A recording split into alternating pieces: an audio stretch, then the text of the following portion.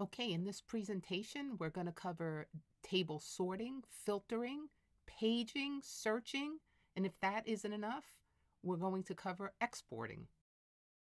Okay, and here are some core assumptions that you are using the Django framework, that you are using template inheritance through the Django framework, and that you have already created your table and placed it in your HTML page. So our setup checklist is as follows. We're going to install data tables and all the options to include not only searching, sorting, filtering, and paging, but also exporting to different file types. Then we're going to talk about installing jQuery. We're going to modify our base HTML template and we'll modify our child that's inheriting from base HTML. And then optionally, we're going to make uh, modifications to our data table settings so that we can take advantage of the exporting features that they have, which doesn't come natural out of the box. What is Data Tables? Data Tables is a free plugin for the jQuery JavaScript library. It has nothing to do with Django, but we can certainly take advantage of it and we will you see their definition. It's a highly flexible tool built upon the foundations of progressive enhancement that adds all of these advanced features to any HTML table. And it is slick. Wait until you see it. By advanced, they mean sorting, paging, searching, filtering, and also if you want, and I certainly did, I wanted to take advantage of their exporting features to Excel, PDF, CSV, etc. And you see down at the bottom, take note, that is the website that you'll have to access, okay? Datatables.net. Okay, and we're going to cover this in just a little while when I take you through it. But this is here for you to stop at this moment and make sure that you have your base HTML set up like I have mine. You must have load static in there. You must have your block set up for uh, whatever you want to call it. I called mine block JS and end block, and you see it's after the footer is where I decided to put it, and it works nicely. And then in our child template, there are a few things that you you have to do here. So starting from the top, you see in my table, I have ID table underscore ID in quotes. You can really call that whatever you like, but the main point here is down at the bottom in our JavaScript, and you see the tags down there at the bottom. You have to make sure that you reference um, that table object, right? So it's pound table underscore ID in quotes. So that has to be that way as well. Otherwise, this won't work. The other things you have to make sure you do is just like we had in our base table, now in the child table, we have our block JS tags. You have to have them set up just as I have mine. And then, of course, it, eh, within those tags are, are the stuff that makes this work. Number one, we have our jQuery link. It's the first thing you see there. And then all the rest of those links, all the few that follow, the four after, are all that I copied out of the CDN link. And I'm going to show you exactly how to do that in the slides to come up um, right after this. But you want to pause it here and you want to make sure that you have this JavaScript section of the code in between script and script. You want to make sure that you have that exactly as I do there. That will give you the functionality to call the data, data, data table CDN code that you see there and also the the input that doesn't come stock is that DOM, be clear, and the buttons. That's there for your buttons. There we make sure that we have the, the buttons for the export, so that has to be there as well. Okay, so here we are at the data table site, and we're going to go to downloads.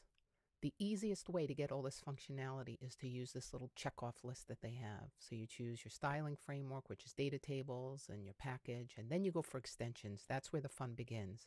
And you see what I'm choosing. You can choose what you want autofill, buttons. I don't want Flash export, but I want HTML5, print, click and drag, column reordering, key tables, responsiveness, etc., etc. I don't want scrolly, but I, I want to be able to select.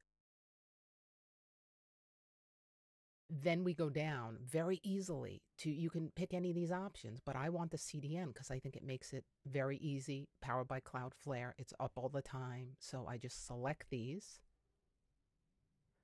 And then i go into my base.html which is my my parent template right because i'm using template inheritance and i make sure that i have the blocks what i call block js right my empty block tags there and then I will go into my template, right, which is the the child template, which inherits from.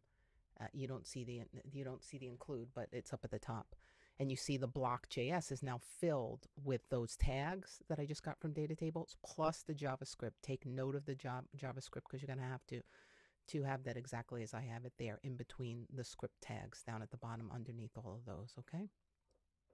You'll see it. You'll see script to script. This is our JavaScript. This is the engine that makes this all work. Then you'll see a line about the the buttons and the copy, you know, the copy, the Excel, PDF, all the exports there. So you'll need that just like this. So so copy it just like it is. Be mindful of all the different uh, brackets and parentheses there.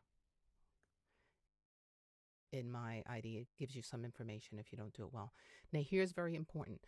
The table ID, just as it is here, pound table ID has to correspond to the identifier in my table. And you see it's table ID without the pound in quotes. Very important to get that right. That syntax is very important. You can have whatever table stylings you want from Bootstrap or uh, HTML, but you have to get that right. You also have to have the the heads T H E A D tags and the T body tags. Right? Can't be body, has to be T body. Okay, so here we are at the Yogi Coder homepage, and we want to access where our table is, which is under courses. This is all in progress, so don't get too spun up. And here we have it. Here we have our wonderful table with all our bells and whistles. We have our search features, we have our sort features on all columns. You see there.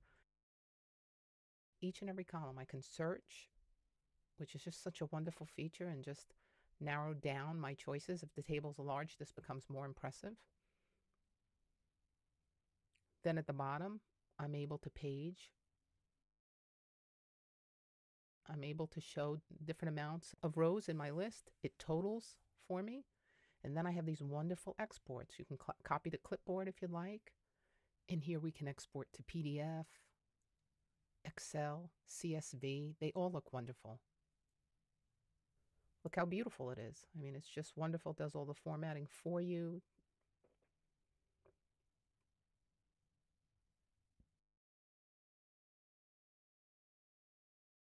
And here, here we can search on just a few rows and it has a very nice feature that it will export the PDF of just that view. So if you just want a few, you can get that as well. If you just want two to highlight or whatever the case may be by year, Right now, this data doesn't serve us for that because it's all the same year. But you see, a wonderful, wonderful PDF on just these two. Excel looks beautiful as well. No matter what format you want, Data Tables has it all covered.